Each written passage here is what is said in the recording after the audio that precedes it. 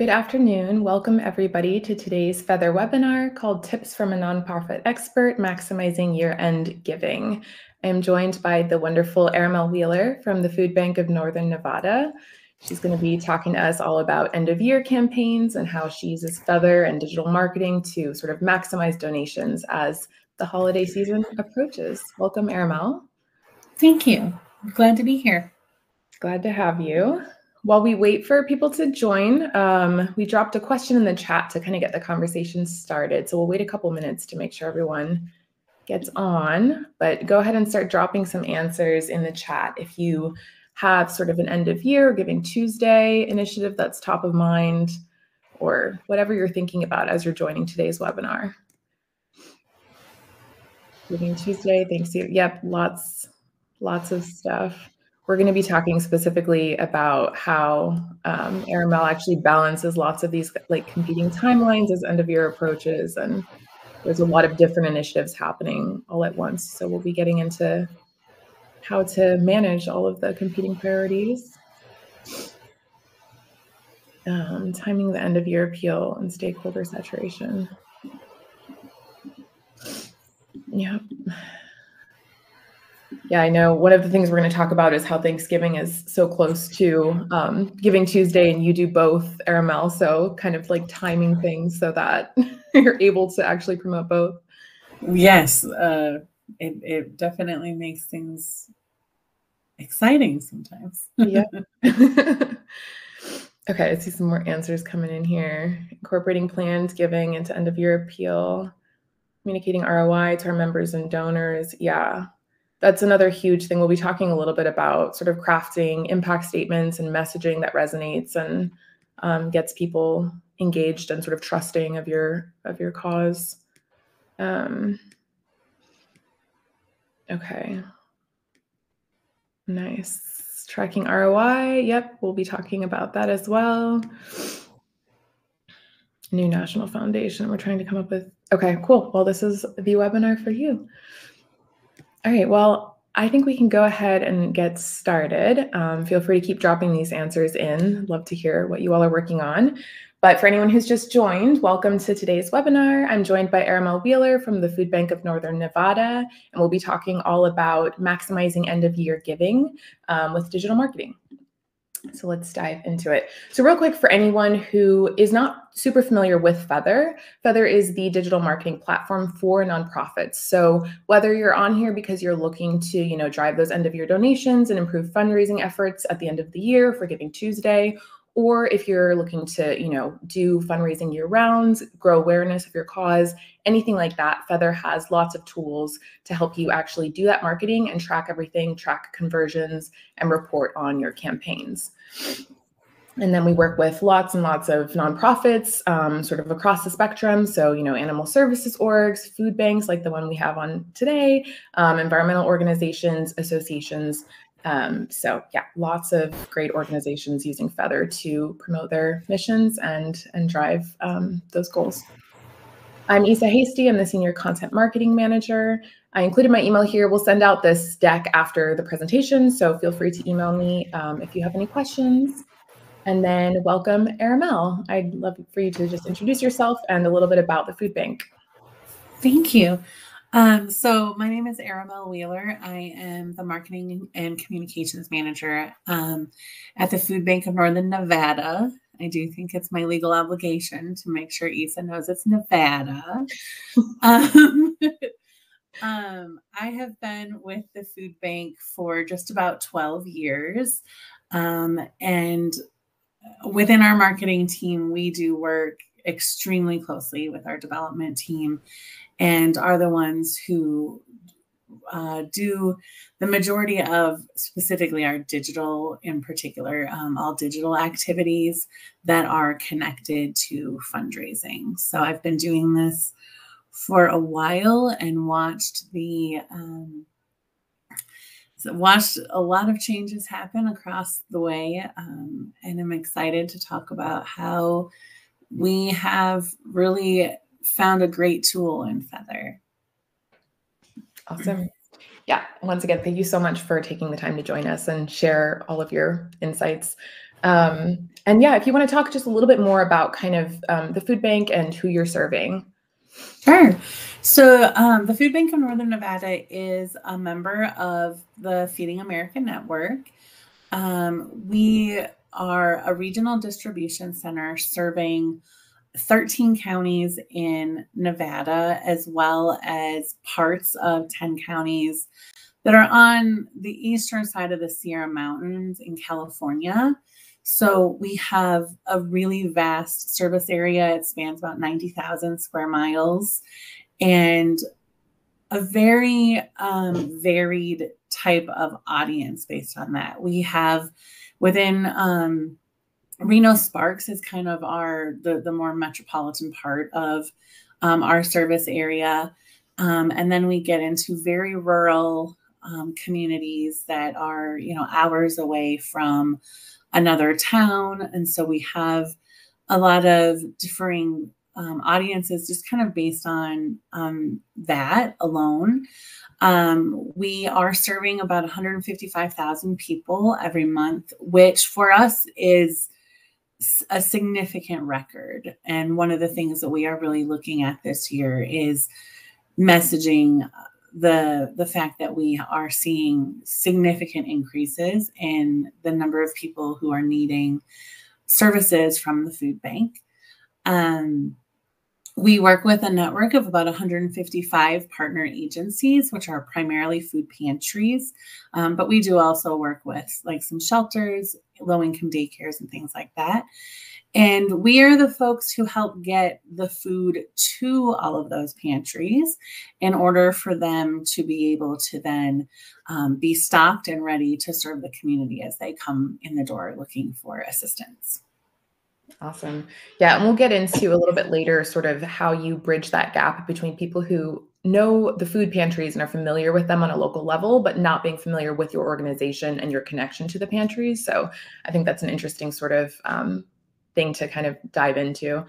Also, I know you mentioned that the reason you serve that eastern part of the Sierra Mountains is because like the truckers can't get over the mountains when they're icy, which being from Florida, that made quite an impression. Thinking about yeah. driving a truck on icy mountains was unsettling to imagine. So um, cool. So just some quick agenda items and then we'll dive into the content. So um, like I said, we'll be sending out the deck after the webinar. So keep a lookout on your in your inbox for that. And then feel free, of course, to drop questions in the chat as we go and we'll get to those as we can. Um, so we're going to start off by talking a little bit about, um, you know, just sort of some general marketing tips and best practices as we head into the holiday season. So why website tracking and digital advertising is so critical at this time of year, um, how to kind of manage those competing timelines as you have Thanksgiving, Cyber Monday, Giving Tuesday, end of year, all of those things happening sort of around the same time. Um, and then Aramelle is going to speak specifically to gift match campaigns because they do a really good job with those. And then we'll talk specifically about the campaigns that she runs in Feathr. So, sort of those audience expansion campaigns to get in front of new, relevant people all year round, but especially with the goal of leading up to those bigger asks at end of year and then talking about sort of the targeted ads and the email marketing that help drive conversions and donations. Um, so we'll get into email specifically, and then also just talking about reporting on these campaigns so you can kind of see what works and what doesn't, um, and do even better next year. So let's get into sort of the marketing tips and best practices. So sort of thinking about the holiday season obviously we all know how noisy it gets right? We're you know you your organization is competing with all of the organizations out there and so the email inbox gets very very noisy. It's really hard to stand out. So this is a really important sort of case for having digital advertising and targeted ads as a way to stay top of mind for people even if they're not seeing you in their email inbox, which it's very likely that they won't see you. Or if they do, there's just too much going on and they might kind of not be able to pause and make that donation because they're just, you know, inundated with so much. So, um, you know, you want to be serving ads to people where they already are online. And so around the holidays, this might be, you know, shopping for gifts, looking up recipes, scrolling on social, things like that. And this is something you want to be doing all year round, but especially during this time of year when people are just so busy and there's so much noise. Um, and another cool thing about tracking your website traffic and then being able to serve ads based on it is that you can actually capture that web traffic that you're getting on a huge day like giving tuesday where you're going to get a really big spike in web traffic but not everybody is going to give on that day but then you can actually serve ads to those people heading into the rest of the end of the year, right? So if they don't give on Giving Tuesday, they might still be primed to give to your cause later in December or even in the new year. And so, kind of capturing all of that data and having that to work with and segment and reach out to, um, even past those big days, is super important. So, that's a good sort of segue into my first question for you, Aramelle, which is if you could talk sort of about what your marketing looked like before Feathr and how having all of this data in Feathr has impacted your ability to sort of get personalized and segmented in your marketing. Yeah. Um, before we started using the, pl- the Feathr platform, um, particularly our digital marketing, was very limited. We worked with we we do work with a fundraising vendor for direct mail and that vendor also did all of our display um, as far as the digital side of things. Um, and we never got to see even the slightest type of data around how those things were um, performing. So we really were just left to leave all of that in their hands and and hope that they were the experts that they promised that they were um, and outside of the things that we did with our vendor. Um, we also did you know occasionally we would do like facebook or um, instagram ads or like boosted posts things like that. Um, we already did have a somewhat robust email um, marketing plan that we were using, but we weren't in a position where, like, like with Feathr, where you get to see all of the data come together in the same way. Um, we were, you know, so things were a little more segmented out and kind of siloed as far as the data goes. Um, we've really in, been able to take a, a better look at the numbers and see the things that are are resonating specifically with particular groups in the in the the segments of people that we're emailing or serving ads to. Um, I would say the email side is where we probably dig in a little further to the data currently.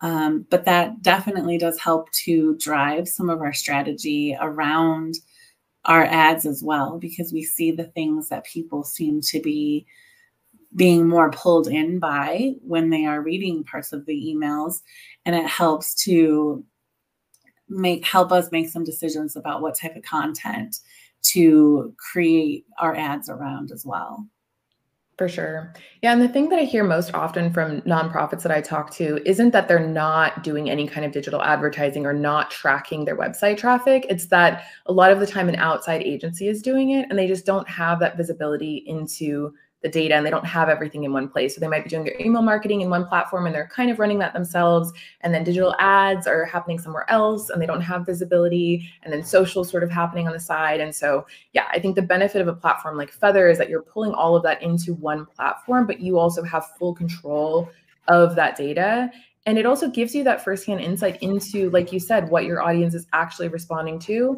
so that you have that information and you can craft the messaging appropriately as opposed to hoping that some agency is taking those insights and working yeah. them into the next you know round of ads i think the other thing that has been a game changer for us is when you're working with an agency you know there's so much lead time into everything that you're doing and being able to have this access and, and look at the data we're able to pivot a little more quickly yeah. and be more agile as we see how things are performing or equally if they're not performing you know if if there's things where th- that something is landing a little flat instead of spending all of the time and and money frankly on continuing forward with that and learning three to six months later mm-hmm. that it didn't really work very well um, you have the opportunity to kind of flip things around a little bit if you need to yeah for sure yeah i think that yeah. ability to kind of change things in real time like literally day by day if you want to makes a huge mm-hmm. difference in in how the campaigns perform ultimately yeah definitely Um, cool. And then I guess, you know, can you speak a little bit to the importance of driving awareness year round? So we're talking about end of year specifically, and we'll get into that. But obviously, you can't just wait until end of year and make these big asks. You want to be nurturing trust sort of year round and getting on people's radars. So, can you speak to sort of how you do that and how you think about that? Yeah. You know, at the food bank, we, um, like I think most nonprofits, we definitely see a huge bump in our support um, at the holiday season, not only because people are giving um, just more generously as across the board, but also because people tend to think about feeding their neighbors at the holiday season. And it's vital for us to make sure that we are, you know, being able to maintain that support throughout the entire year. Because our numbers remain just as high whether it's February or June. And and in fact we see an uptick in summer that people don't necessarily know about. Um, and so we do a lot throughout the year both in running some evergreen type of content as well as you know really building out like kind of some thematic messaging based on what it is that's kind of happening at the food bank at any particular time of year um, to make sure that we're always talking we're talking all year long but also keeping the content fresh and very right now with um, whatever it is that's kind of happening in our world at the time. Yeah. And we'll get into how you use email later on to kind of do a split of like the e appeals and then also that ongoing cultivation where you're staying on people's radars and kind of providing them information and updates. And and definitely it's strategic right? You have something that you want from them but you're not always asking outright. You're kind of keeping them in the loop and providing them with some kind of value um, you know in their inbox so that they're primed to give when the time comes. So yeah, and then real quick, if you could talk a little bit about that sort of nuance, and this probably applies to you know food banks more so than maybe other nonprofits, but that idea that people are familiar with their food bank in their local town, but they don't, ne- or sorry, their food pantry, but they don't necessarily understand that the food bank, your food bank, that they're seeing ads for and you're asking for donations, they don't connect that with that pantry. And so, while in theory they do support and want to support you, they don't they don't realize that it's like one and the same. So how do you kind of bridge that gap? You know, we um that these are things that we have struggled with for the entirety of the time that I've been at the food bank and and even further. Um, we definitely face a challenge where to many people a food pantry and a food bank are synonymous and they they're picturing kind of one very specific view of what it looks like. You know, you're going to a local church, you're visiting, you know, getting some some canned vegetables, fruit.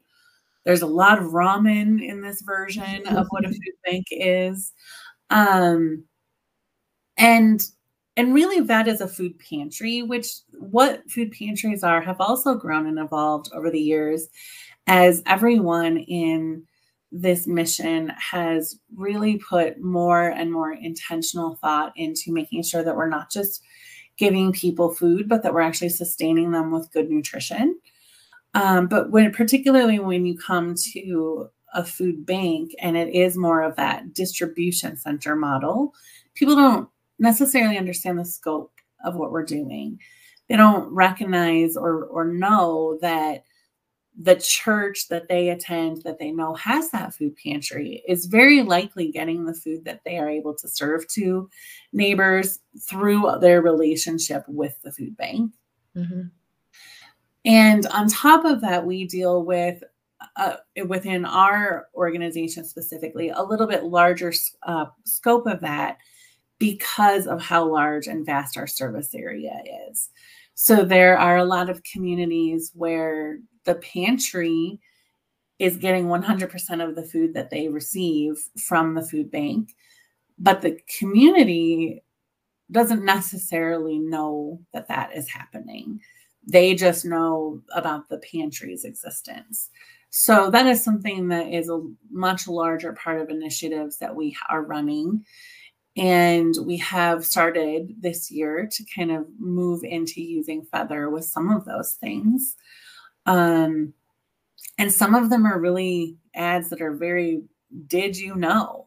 Like we want to really make sure that we are catching, you know, some opportunity to do some education for those communities, particularly before we would decide to come into that same space and really start to push more of an actual fundraising ask. Um, we want to spend some really intentional time doing that education side first. Yeah. And I know that you mentioned that you um, sort of segment by uh, area or, or region, right? So you can get more specific in in the ad copy and say like we did you know that our food bank serves your local food pantry? and kind of get a little bit more specific yes. and drop those yeah places so that they recognize them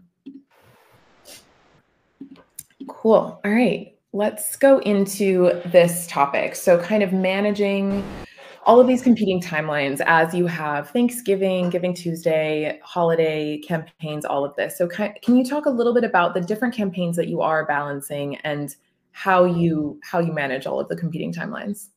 Sure. So for us, the holiday season really starts in September, um, both because September is Hunger Action Month um, across the country, and so that is when we start the the calendar of communications really starts to kind of mushroom at that point and become significantly um, larger as it is because we have a month's worth of different kind of activations and things that we're pushing. Um, and we, over the years, have kind of developed Hunger Action Month as the way that we start some of those softer, like get involved type of asks. So there definitely is opportunity for giving, and and some of that is talked about through Hunger Action Month. But it's a little bit more of a focus on the grass, grassroots part of our work. You know, donate to a food drive, come out to our warehouse and volunteer with us. Let us show you how much fun you can have while making a difference in our community. Um, as well as a focus on some of the advocacy work that we do both at the local and federal level. Um, and at the same time we're really our our fundraising team is really gearing up um, for the holiday season and that's about the time that our um, some of our holiday hinting i would almost say like mm-hmm. direct mail pieces we're not yet specifically talking about thanksgiving but we are starting to talk about all of the things that sit on families' shoulders as we move into the winter season. Um, and then we do we go we go into um, Thanksgiving and feeding families around the holiday. You know, the specific this especially when you're talking about Thanksgiving, this holiday that's all about the meal.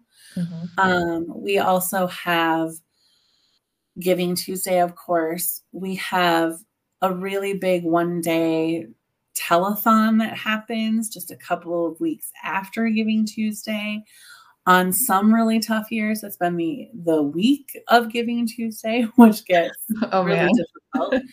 um, and then just your basic end of year um, fundraising as well. So I would say we spend a lot of our time in the in the months leading up to all of that being very intentional with you know so we know what stories we're going to be using what um what the pieces are that we're going to use from the fundraising side and how do we pepper into this um other communications and marketing work that will make it all feel like it was one cohesive piece when it all comes together. Um, and so that is a big piece that we kind of focus on. And we do try to find places where we take some breaks along the way, not in communication overall, but little places where there can be some space where we're not asking. Mm-hmm. Um, in Nevada, we also, on an election year, we have a particularly challenging um, extra challenge that that presents itself because we are a purple state. We are one of the, you know, so I mean, like everybody is inundated. The month of October, you might as well not even bother because it's all politics all of the time.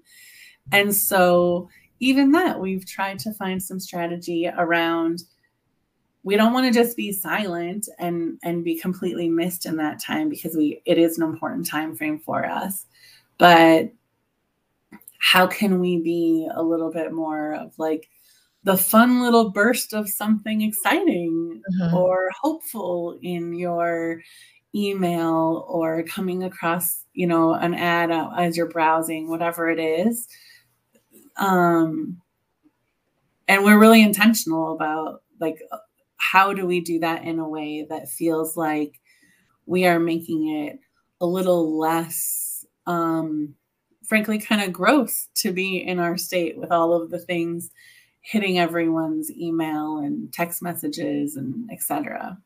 Yeah, and I think it's cool. Nonprofits are in this sort of unique position to be able to tap into that like hopefulness and optimism sometimes as needed, you know, because obviously yeah. you have a mission and like any organization or any company, you have you need to drive revenue and you need to hit your goals, but you also have something that for-profit companies don't have, which is like this sort of cause that is related to yeah real world impact and and people or whatever it is and so i think being able to tap into that messaging as like a little reprieve from all of the the chaos is mm-hmm. is a really cool thing to be able to do.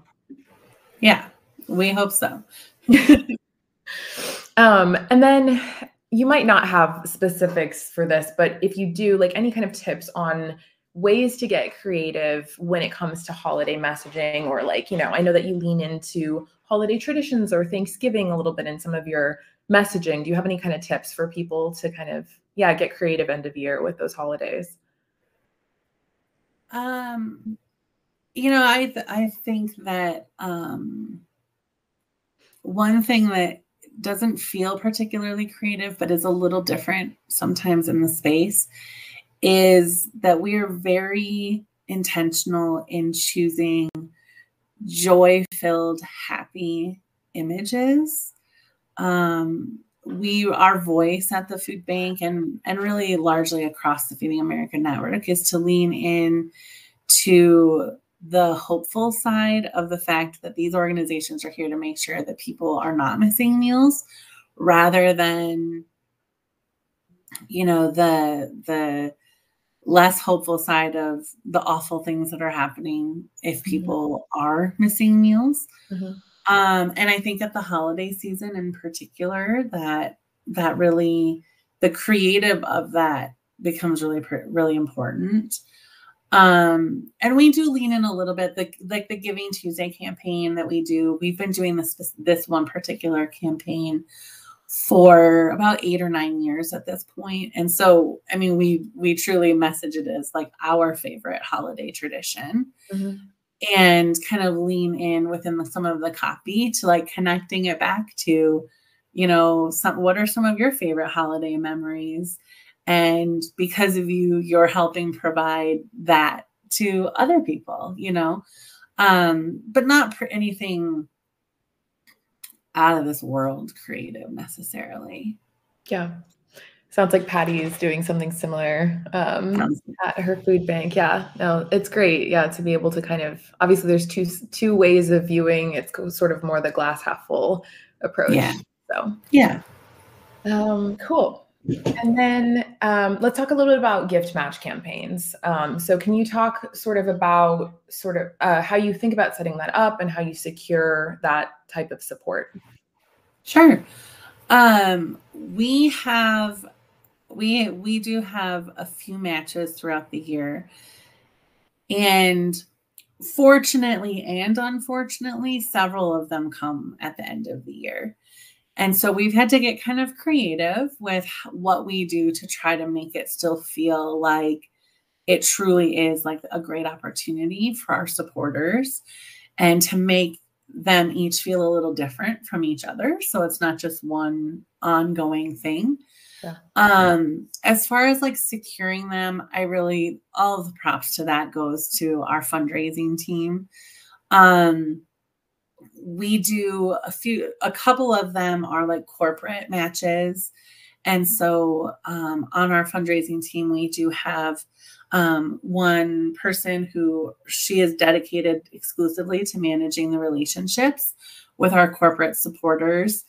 And we we really look at those matches as an opportunity not only to of course leverage to get you know raise additional funds through through the match but when we hear from corporate donors who are looking to have uh, a lot of times they'll say like i want to have a bigger impact. I want to have more of a reach. I want to be able to do something bigger and so we say well how about if you help us raise all of this extra money because of your gift yeah. um, and certainly when there is recognition you know companies that are potentially using like marketing dollars for this support um, it really is something that can be particularly enticing to them because of the amount of publicity that they will receive.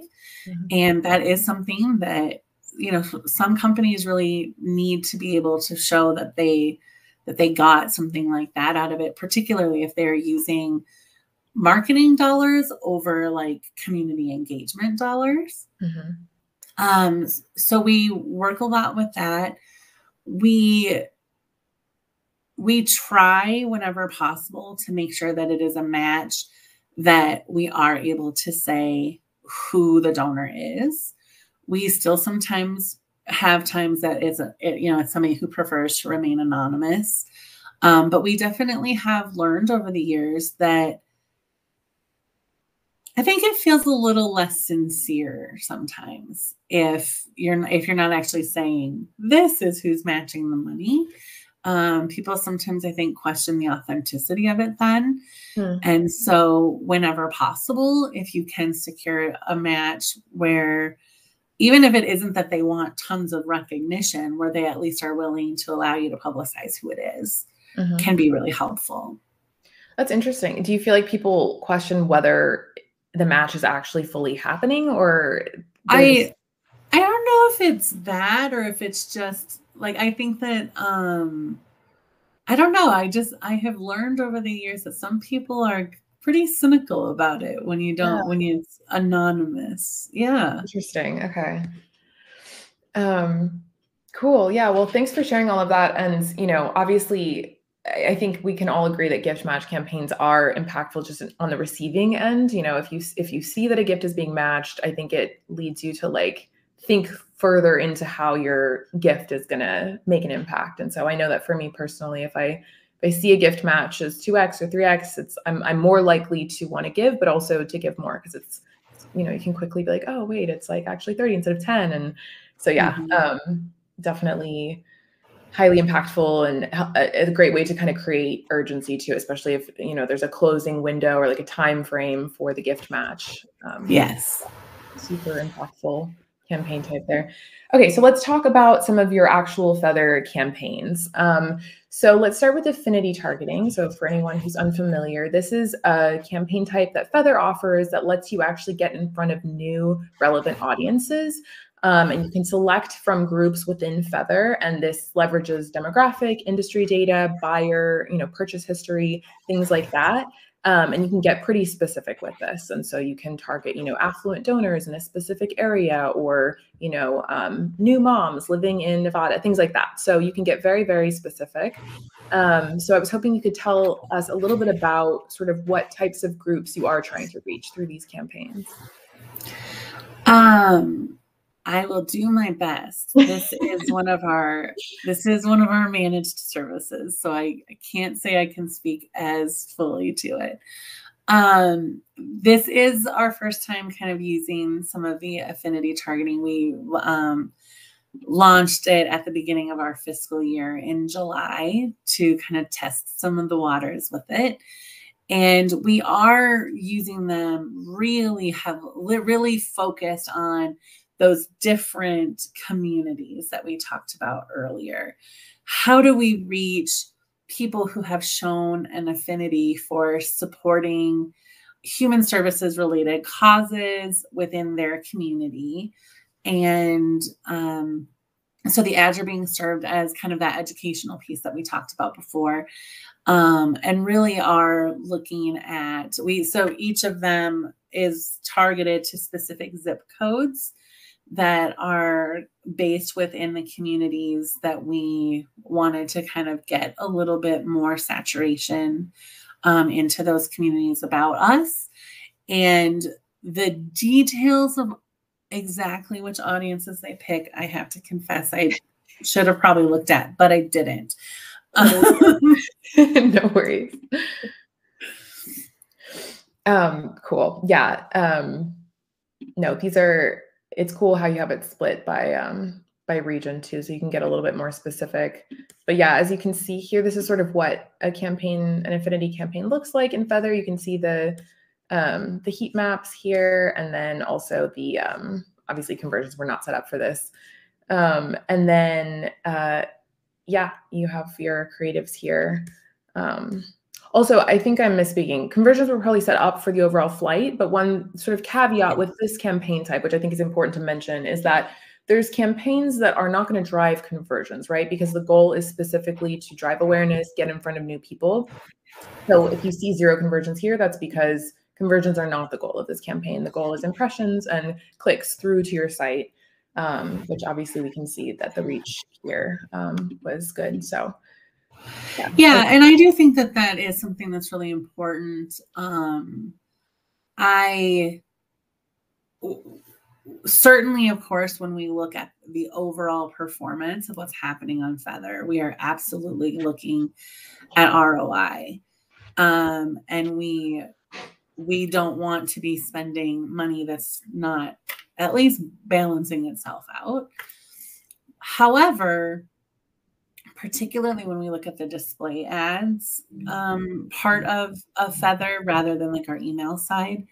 Um, I think that it's important to remain realistic about the number of conversions that are kind of going to come specifically from that versus the fact that, you know, Isa has seen our ads throughout the last six months and now she sees our telethon or she sees us you know at an event or whatever the thing is. And um, so we try really hard within the entirety and this isn't only digital with but within the entirety of our marketing and, and development space to remember that just because in this case it's like zero conversions does not mean that it's not the reason that somebody you know gave.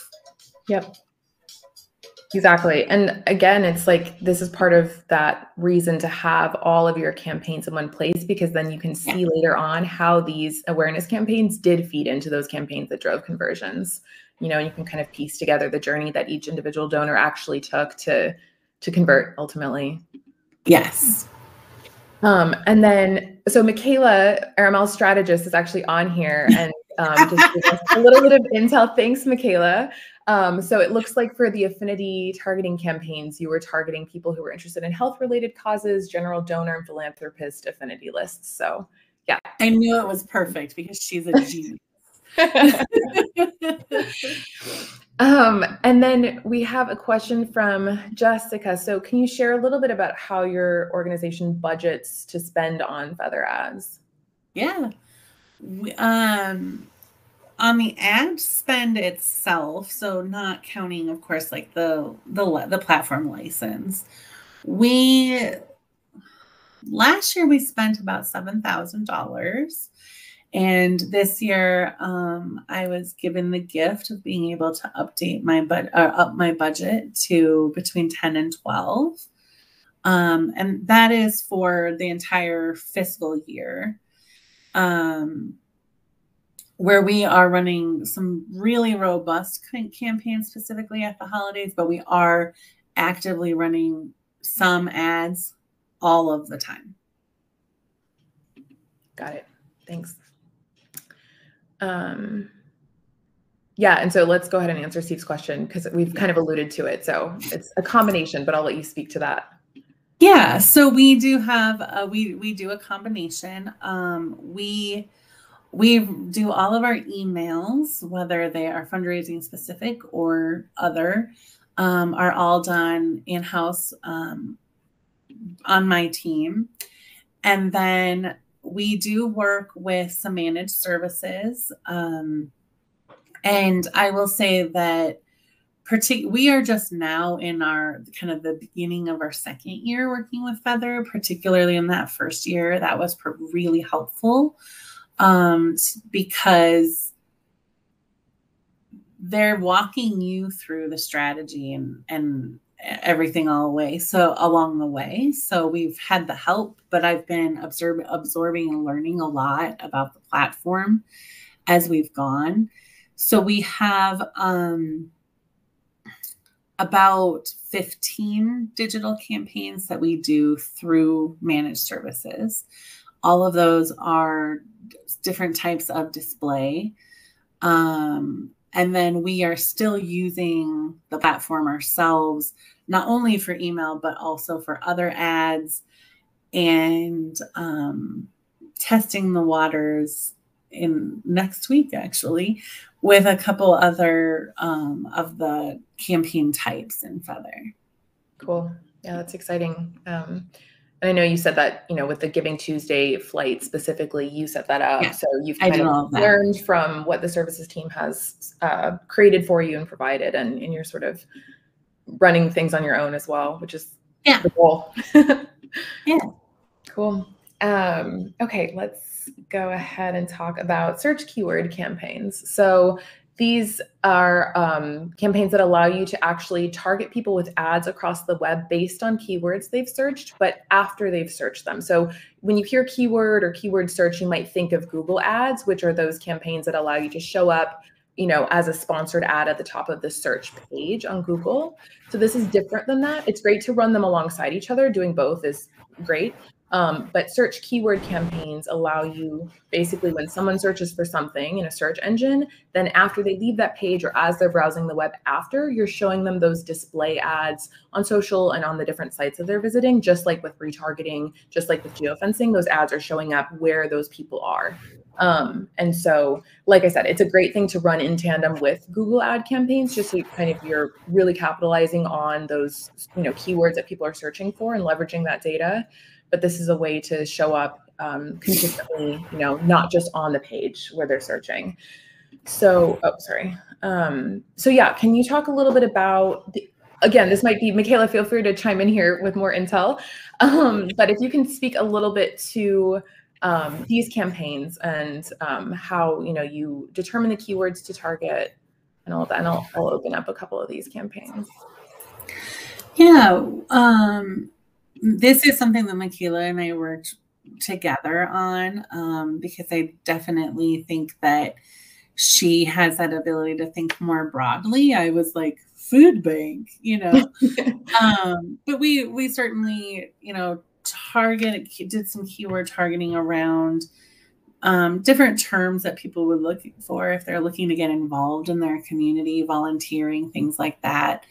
Um, also to be frank some of our competitors you know if someone is is searching for uh i hate calling another nonprofit a competitor but if someone is searching for a, another community nonprofit where there's some overlay or you know if someone is interested in that that nonprofit's work they likely would also have some affinity towards the work that we're doing. So we do a little bit of that.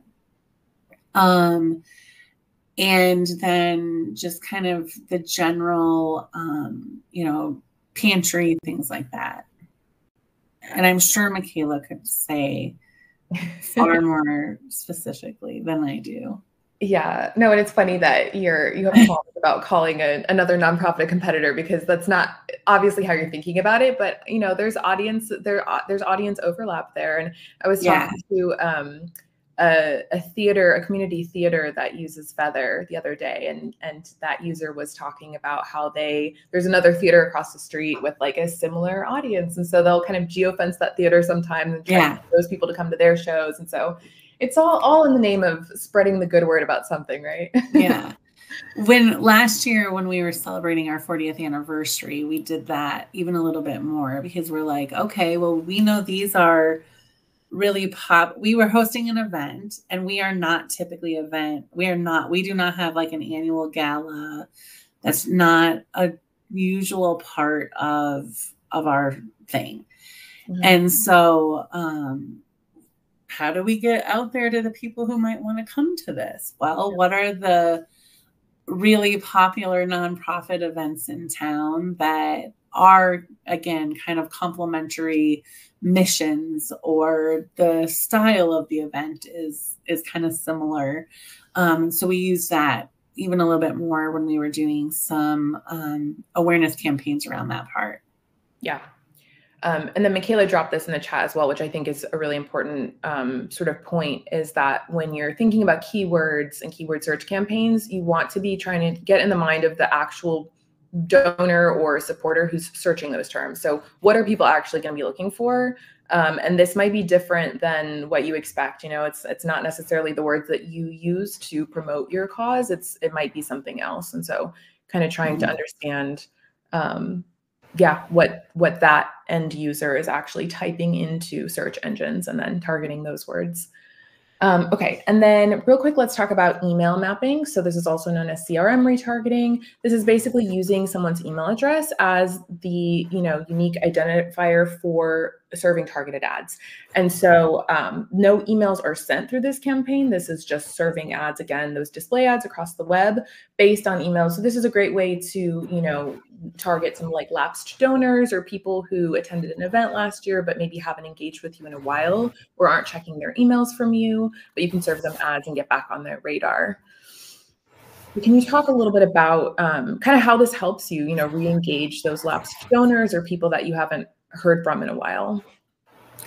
Yeah, we use this a lot, particularly in the holiday season, because we have um, we have a lot of people, supporters who are maybe food drive donors, volunteers, etc., who are not in our usual stream of solicitations.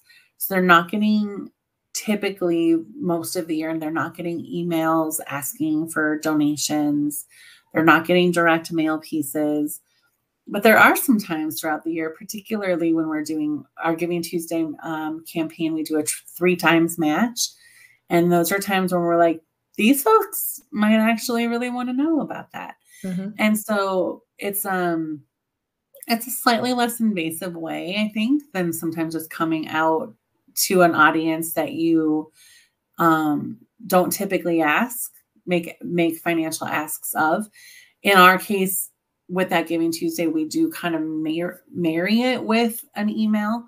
Um, but we've been serving the ads for a while before they then kind of get into that. So there are they've already been seeing it kind of softly as they've been just browsing. Mm-hmm. Um, and then also we have, you know, people who subscribe to our kind of like monthly what's happening at the food bank newsletter. And we will utilize this um, the email mapping to be able to serve some ads to them that allow us to do a little bit more of that awareness side of things as well. Cool and then, yeah, let's get into some retargeting campaigns here. So, retargeting is, you know, reaching people after they've visited your site and left. And so, using that sort of web traffic that you're tracking with a super pixel like Feathr offers to then be able to serve ads to those people after they leave with the goal of bringing them back to, to your site. So, you know, most of you probably know that it takes multiple touch points to actually get somebody to become a donor or convert in any way. And so, someone might visit your site but then leave or see an ad from you, but not give right away. And so you have to continue showing up in places not just in their email inbox to really create that sort of cohesive multi-channel experience and get them to eventually make that um, make that move, make that donation. So um, let's talk um, sort of specifically about some of the campaigns that you, some of the retargeting campaigns that you've run um, in Feathr. Sure. Um, so yeah, let's start with this one. I know that this is um, trying to get people to the get involved section of your website, right? So can you share a little bit about this campaign? Yeah, we um I will put the caveat on this that we do exclude from all of these campaigns that we're about to talk about. We exclude anybody who has visited our website specifically to visit the get help section of the website um, since that is more the outreach side of what we're doing. Um, so the get in, the the get involved ads are kind of our like come be our friend and anybody who visits our website is served is, is can be retargeted to be served these ads that then drive to this page that is kind of the introduction of ways that you can start to be involved with the food bank. Um, but you know, visiting, going to events, becoming a volunteer, hosting a food drive, things like that. Great. And then, yeah, let's talk about donation dropout as a use case. So this is a great, you know, use case for retargeting. Obviously, you can do this with emails as well, and we'll get into a specific type of email that Feathr offers called AutoSend that lets you actually trigger emails based on donation dropout or cart abandonment. Um, but can you talk about how you use retargeting ads for this? We, I would say the main thing is we have decided to be really careful about how we do this. So we do retarget people who visit the donation page without converting. Um, but you'll see the the copy on it is like we are really intentionally we don't use like a come back. we saw um, you on this page. yeah. Um so we but and we try to just again it's you know it's happy it's it's um look at what the difference you can make. I think that for us, this one, the strategy is more about that the artwork that we're using, the, the photo of the lovely family, um, and that we hope will bring people back and want to be part of of nursing people. Yeah. And that's a good distinction. I think some organizations do lean into the kind of like, hey, did you forget something? Like, you know, complete your donation. Yeah but it's perfectly fine to sort of on the back end be seeing who's showing high intent and who might actually want to make that donation but their wallet was in the other room or they got distracted and busy but they actually like want to give to your cause and taking that mm-hmm. information and then continuing to sort of nudge them gently and remind them with ads like this so you don't have to do the sort of like Amazon approach of like you left something in your cart, you can just use the data that you have available to you on, on who's interested and and just continue to show up for them just like you're doing with those awareness campaigns and, and building that trust over time. Yeah. Um, and then yeah, let's talk about using retargeting for Giving Tuesday. Giving Tuesday is the thing that we probably go out the hardest for. So um, we retarget again um, all website visitors who did not spend their time on the get help section um, it's it's the one time a year where um, even if someone never kind of visited i know we're going to talk to them and uh, talk about them in a minute but without someone necessarily having been on a high intent page we are still driving this directly to our donation page um, rather than a little bit more of that, like, you know, come learn a little more first. We're just coming right in with give us some money. Yep. Um, cool. Also, I'm in Florida and it just started pouring. Obviously, there's a hurricane coming our way. It just started oh. raining so hard and got much darker. So I'm really hoping my power does not go out in the next 10 minutes. so intense out there. Okay, and then let's talk about these sort of high intent um, page visits and how you use that to determine, um, you know, who you want to serve ads to. So these are specifically donation driving ads. Um, they primarily are um, content that's you know that's designed to. Um, uh, I mean, they go directly to our donation page, and so those are retargeted to people who have visited either the Get Help, or I'm sorry, the Get Involved section of our website, or the Ways to Give section. You know, if people have spent some time on there, we start to feel a little more comfortable with coming in with, and you'll see as some of these, they're a little bit more kind of an educational still. We we lean into some of the stats and things like that on these ads. Um, but they do drive directly to our donation page. Yeah, which is here. Yeah. All right, and let's get into email. So, um, just kind of a quick refresh on Feathr email campaigns for anyone who's new. So we offer two different types of email sends in Feathr. There's single send campaigns. So this is basically what you think of as like a typical email newsletter, event reminders, sort of targeting a specific predefined group with a timed email send that you send out. Um, and then auto send campaigns, which I mentioned earlier, um, you're able to kind of catch people when they're super engaged on like an individual basis by setting an automated email that triggers when somebody takes a, a specific action. So if that's visiting your donate page and then not donating, you can um, send them an email, you know, 24 hours after or even a couple days after sort of encouraging them to come back and give that donation or again just like staying on the radar and maybe providing them with some information or some impact statements. And it doesn't have to be you know a big ask but sort of using that data on where people have been on your site and then serving them ads and, and sending these emails based on based on that creates just that personalized experience you know based on what people are actually doing. Um, and so, yeah, I just pulled in this example here. This is from the Japan America Society of Washington, D.C. I love this email template because it's just so pretty to look at. But also, you can see that, you know, Feathr offers the standard email metrics like click through rates, open rates, all of that. But then you can also see conversions from emails. So, this um, this one email drove 681 registrations to this event that it was promoting. So it's really cool to be able to kind of see the conversions from an individual email versus, you know, all of your email marketing campaigns. So let's talk about how you kind of do the cultivation side of things and stay on people's radar with those regular comms. And then we'll talk a little bit about donations. Sure. I would say that the number one thing that we have decided over the last 18 months is to fight our instinct to worry about being in people's in inboxes too much and i we are still quite conservative i'm not but we i we held back for so long mm-hmm.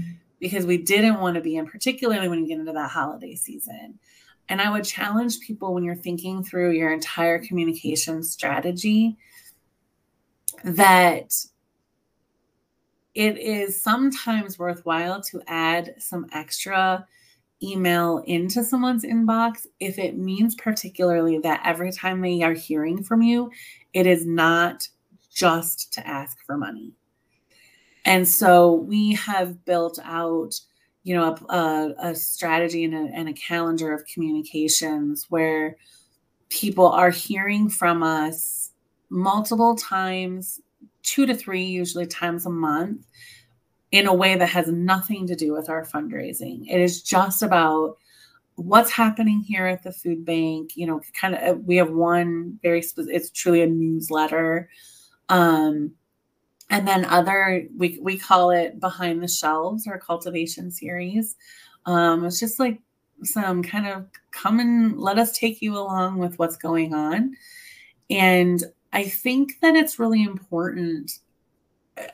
I don't know about other places, but at our food bank, when we start to look at the calendar and people start to get a little uncomfortable sometimes with the number of emails, we typically are at a place where we're emailing about once a week total. Mm-hmm. Um, and that does include asks that we're making. Um, but these cultivation emails, they perform really strongly for us we people talk to us about them all the time we get replies to them where people are asking you know, follow up questions or just saying thank you for letting me know about this. And I think that they are a really important part of the strategy for fundraising. That's amazing that you get people actually like re- referencing yeah. them and replying. That's the ultimate it's so fun. sign that people are engaging. Um, yeah, and I know you have this behind the scenes series um, to kind of get people, you know, understanding what's happening at the food bank and at the pantries. And um, yeah, I think that's a, a, cute way to kind of stay on people's radar with something that, again, like you said, is not an ask, but it's just kind of like, here's what's happening um, on our end of things. Yeah. Um, and then, yeah, let's talk about the Giving Tuesday fundraising emails. I know we're at time, but hopefully people can stay on just a couple minutes longer because I think we've got some good stuff to share here. Um, yeah, so let's talk about the Black Friday um, email. Yeah.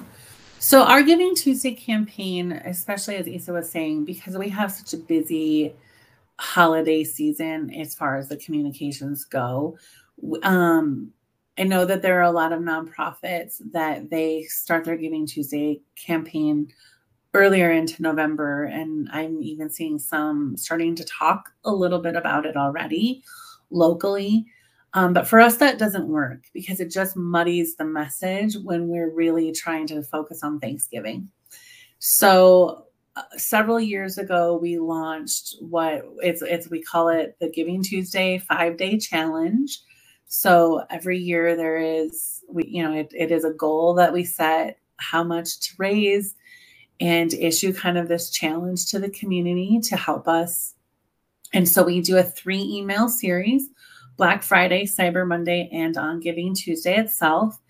Um, and that three email series goes to anybody who is in our e appeal segment within Feathr. So, donor, active donors that we have emails on file for are who receives the email series.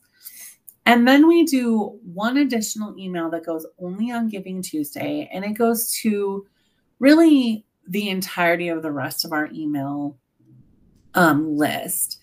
And that is largely made up of volunteers and people who have subscribed and supported the food bank in other ways, but not necessarily financially. Um, and the one other part of this is we all in this one single send email, we also include our recurring donors. We don't typically include them in anything in any other individual one-off asks since they are already giving to us monthly.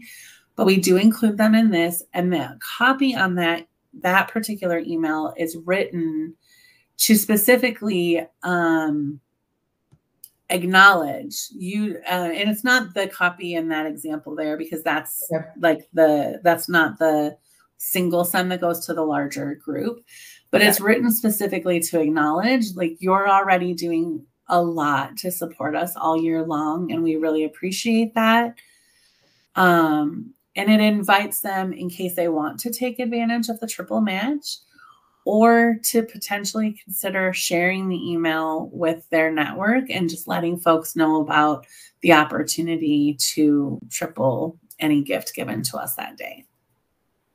Awesome.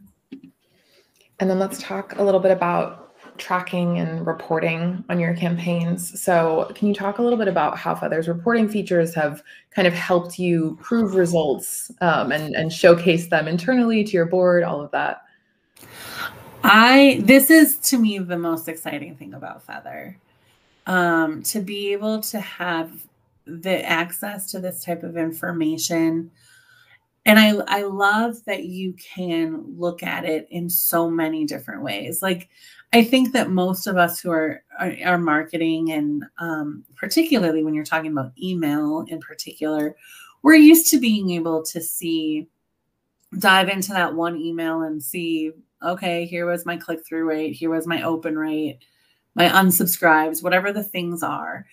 And so that's great information to have. Obviously, I'm, I we look at that on on our emails, but I really more than that love the ability to look at the data holistically and to be able to really see all like all of our things within one particular flight. And even now, with this new dashboard, every time I go, this is for those of you who might not know, what ESA is showing right now is kind of new.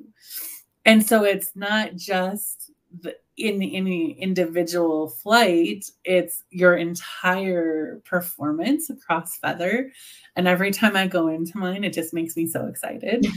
um, because I think that um, sometimes, like we were talking about before, if you look really granularly at things and you look at, like, well, this one ad has zero conversions, it it can you can start to get i can maybe not maybe not everybody but i can start to really kind of spin into like overthinking and the ability to look at the larger picture and see how everything is playing together and what it's doing for us is really been very important for us to be able to show. And um even like for me to be able to show my board of directors how things are performing and um and, and provide it in a way that sometimes when we talk about these things it's kind of over the head of people who aren't living and breathing like digital marketing you know so to be able to provide them with just some numbers and and the graphs and things they can understand that versus if i'm you know if i'm talking about like well our click-through rate on this email they're like well what does that mean what mm-hmm. is it is that good so you know the other thing is the ability to kind of like pull the reports and and show people how it compares to kind of industry standards and things like that and and be able to guide things that way has been really helpful. Um, and i would say the one other thing that we also members of my development team have really appreciated is the opportunity to look at how any one individual person is interacting with the things that we are sharing so if my major gifts officer is, you know, preparing for a meeting or something with one of his um, donors, um, he can he can ask me for some of that information, and we can kind of look at, you know, oh, every time we've talked about this topic, this person seems to engage a little bit more. These are the links that they that they tend to be drawn to clicking on. Um, and it's equally as valuable to be able to pull it up and say this this donor has never one time even opened an email we've sent them. Like that that is just as important um, for the folks who are doing that you know frontline fundraising work um, for them to be able to have some of that information available to them. And we've not ever been able to have it at this scale in such a complete picture before. Great. It's great to hear. Yeah. And I, I, tried to sort of showcase that a little bit as you were talking, but you can obviously click into specific people in your community and Feathr and see, you know, what they're engaging with, what emails they're receiving, um, and kind of really take a look at that individual journey. So that can be really helpful um, for developing those donors, like you said, and kind of honing in on this the individual journeys. Um, and then, yeah, I just wanted to sort of show this uh, campaign report. This is from the 2023 appeals. Um, yeah, so this, yeah, obviously knocked it out of the park in terms of donations driven. It was very exciting. Yeah. I was for sure the hero the day that we had that report come out. Oh, yeah. Much deserved.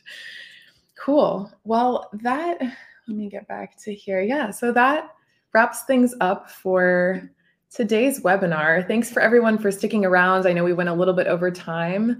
Um, and Aramelle, thank you again so much for joining. Did you have anything else you wanted to add before we call it? I don't think so. Cool. Well, thank you so much for taking your time out of your day and for everyone else who joined. Um, and then, you know, if, if you liked what you saw today and you're interested in learning more about how Feathr can help you run some of these campaigns, whether that's audience expansion advertising campaigns, you know, if you're looking to switch email providers or try a new email platform, um, you know, any of the things that we showed today, uh, Feathr can help you do those things. So drop a one in the chat if you would like us to reach out with some more information, and drop a two if you are a Feathr user and you just want to connect with your customer success manager about some campaigns you're running. So yeah, I'll give everyone just a second to drop some in the chat. But yeah, thanks again for joining today, and we will see you on the next one.